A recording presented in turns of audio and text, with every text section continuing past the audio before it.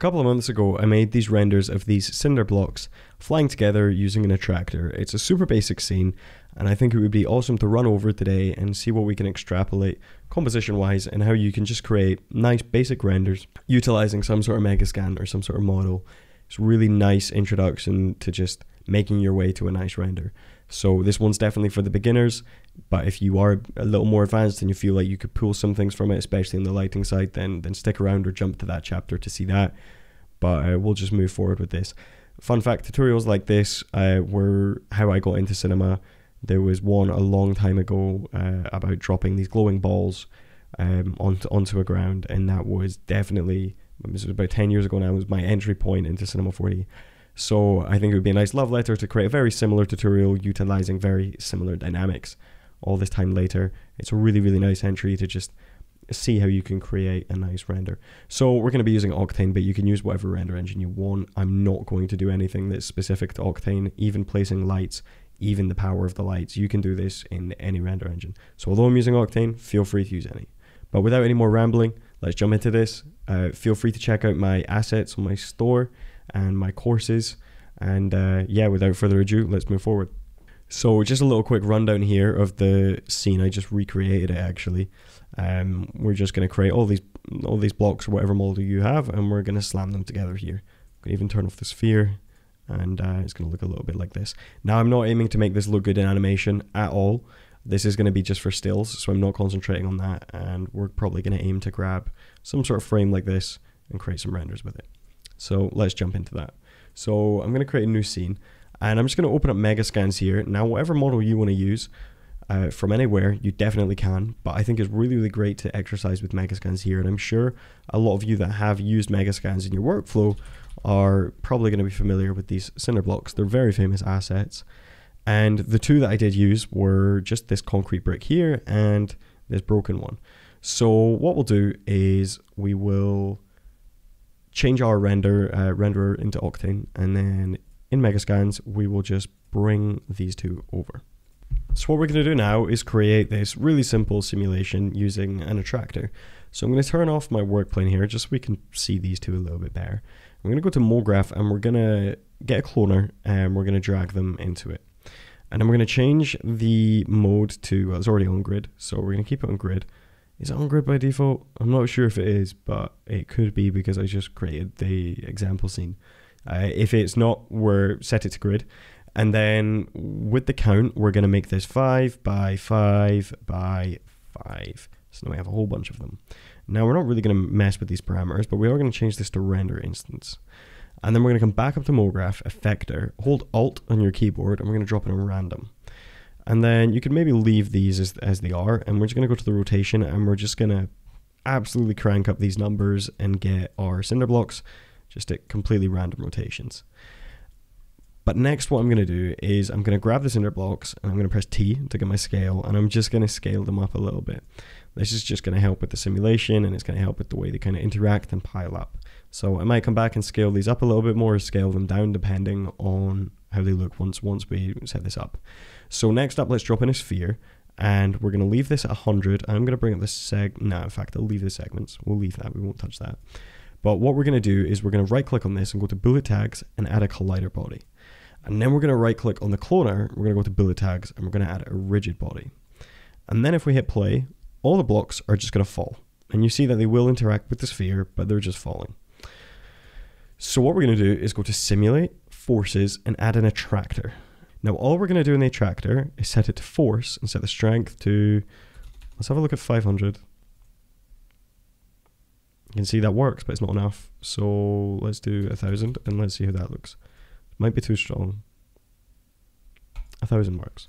So now what I'm going to do is go to this sphere and on this top dot here, I'm going to turn that red. And then let's go and grab a camera Let's hit this white box to go into the camera. I'm going to change the focal length to 80 millimeters. And under coordinates, I'm going to zero out the X and then I'm going to press tab. I'm going to zero out the Y. I'm going to press tab two more times and I'm going to zero out the H and the P. And now we should be straight on looking at our simulation, our ball of blocks. So what I'm going to do is hit play and I'm just going to grab a frame that's kind of just as it's piling up and it looks quite nice. It is going really quick though.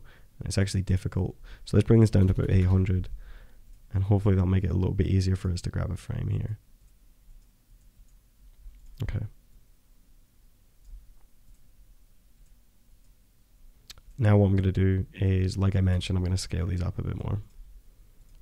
Now you'll see here they're dropping down a lot and they're not really having a lot of force. So I'm going to, because I've scaled them up, I'm going to bring the power up to 5,000. And now if we look, they're going to slam in really nice. And they kind of have this X shape as they come in. They're not dropping down and then swooping up. They're just at their positions. They're just slamming in. So with that, I'm just going to grab some sort of frame like this. But to make it easier, what we can do is actually just cache this and bake it. Now you see that'll cache super quick.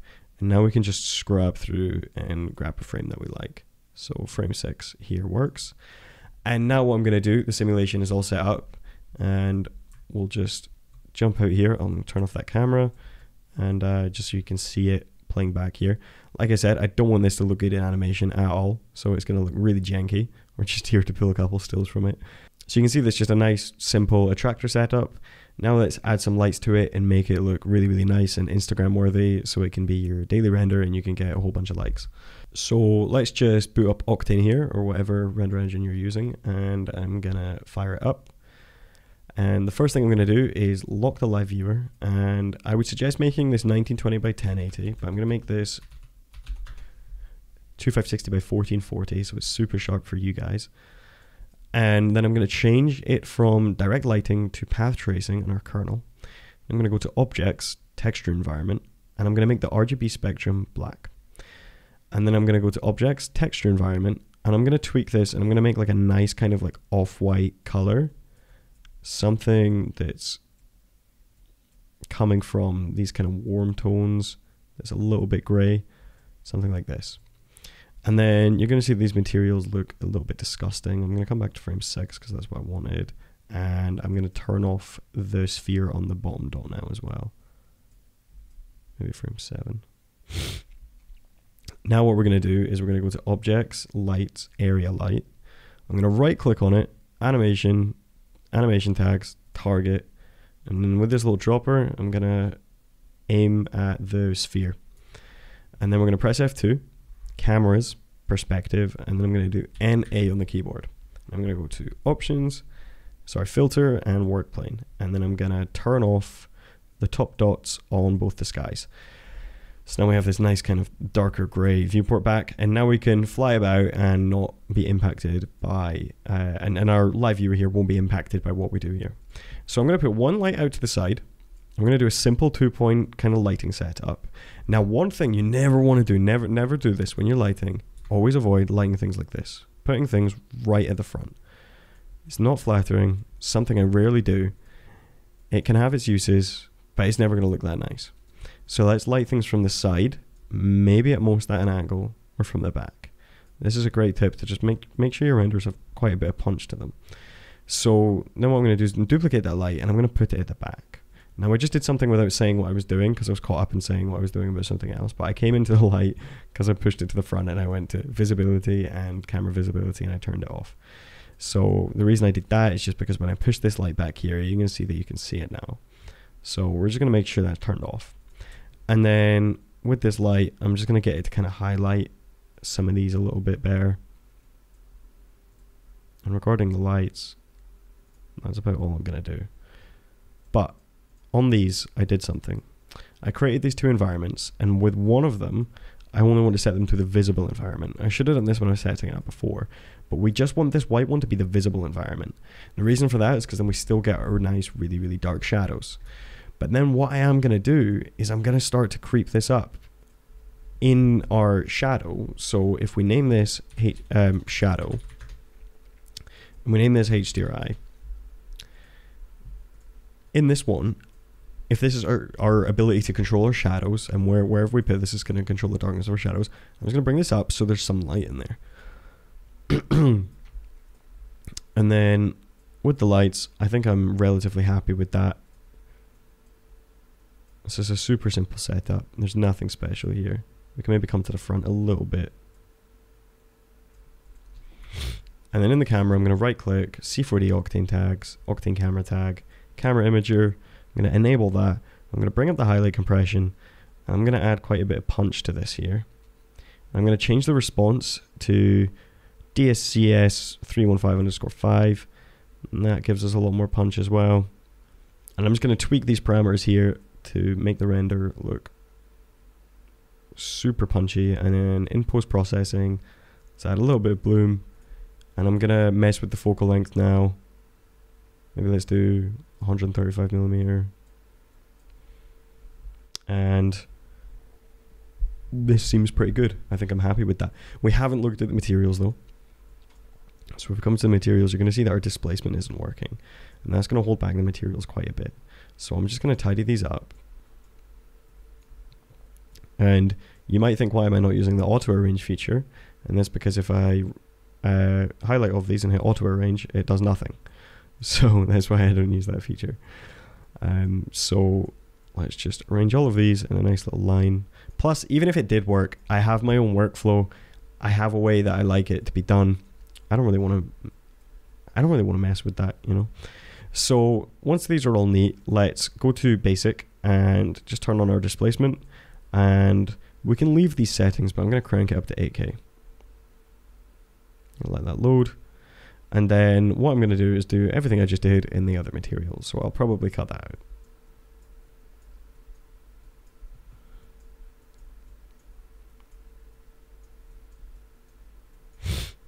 So I'm just going to make this 8K and I'm going to go to basic and turn on the displacement. So now we've got that set up. One thing I want to do is just bring in a bit more color into the background. It's feeling a little bit too white and I know I had a nice kind of color on it like this. And I just want to see what this second light is kind of providing right now because I feel like I'm not seeing it very much. So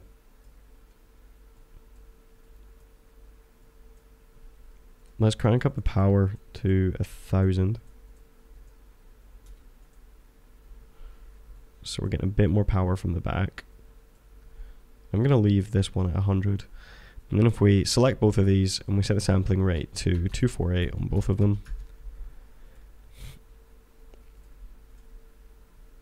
And I'm actually going to bring this down to 500. It's way too powerful.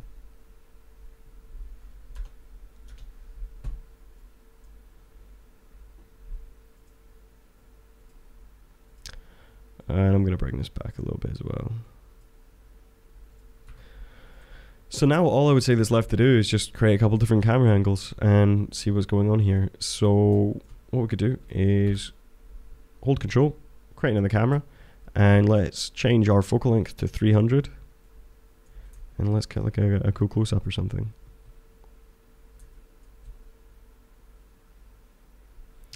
and then what we can do is basically just do this a couple of times see what what cool angles we can get. We could add one with some really cool focal length. So if we pick our focus here and select, for example, this block, and then come to our Octane camera tag, go to Thin Lens, go to Thin Lens, Depth of Field, crank up the aperture, we can set this to 2, hitting Tab, then we'll set this to 3, and then 0 0.08, and we're going to see that we have a bunch of nice blur on this now. So maybe going to budge this over.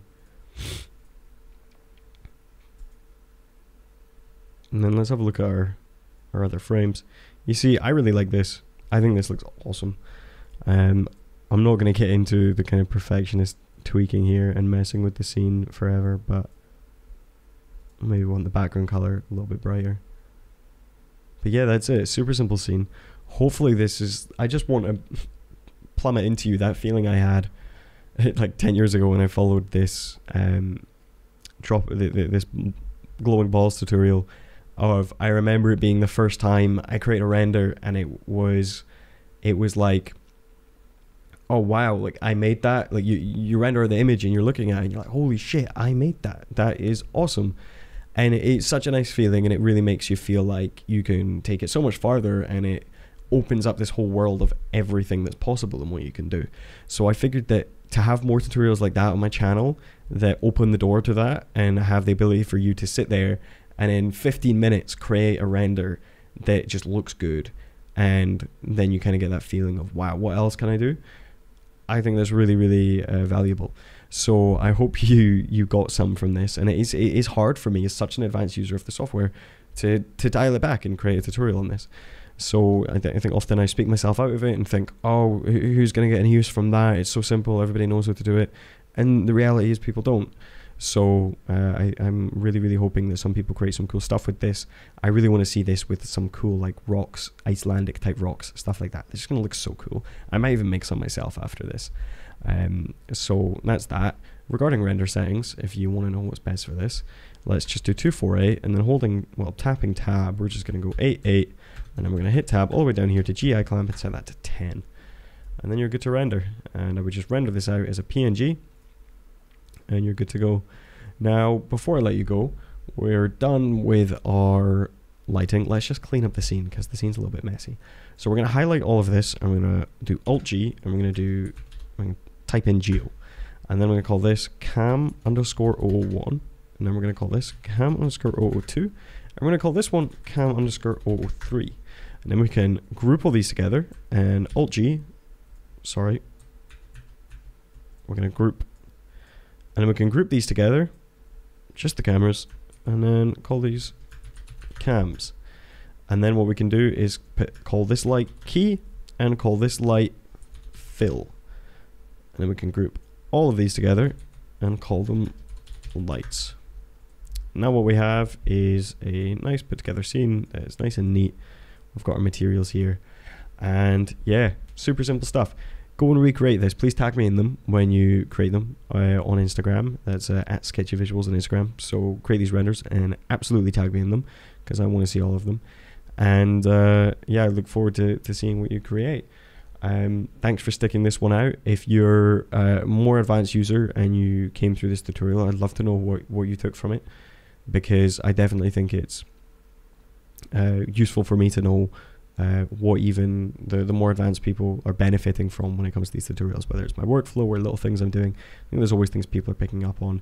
But for long term watchers at this point, you're probably really familiar with my workflow and different things that I'm engaging in.